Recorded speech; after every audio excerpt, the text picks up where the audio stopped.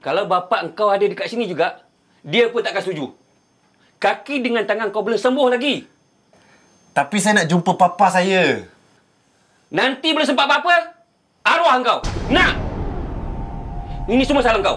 Engkau yang patut disalahkan. Pak Wahid, Rashida tak ada kena-mengena dengan isu ni.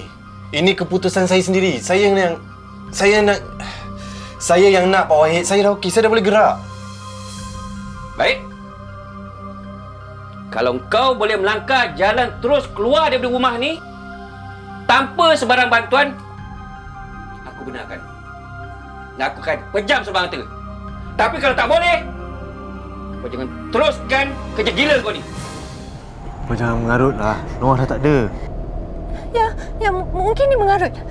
Tapi kita tak boleh nak ambil risiko sikit pun, Ben. Aku dengar Sweet dah pergi jumpa dia dah pun.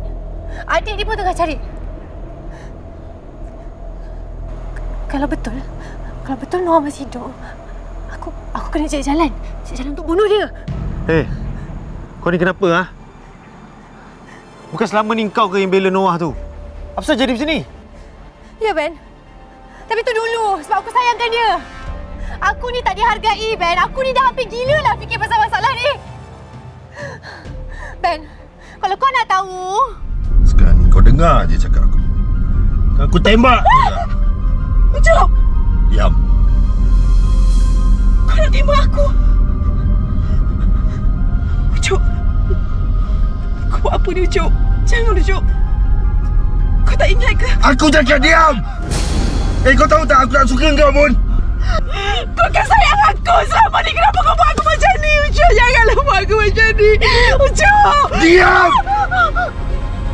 Ucup! Kau pukul aku, Ucup.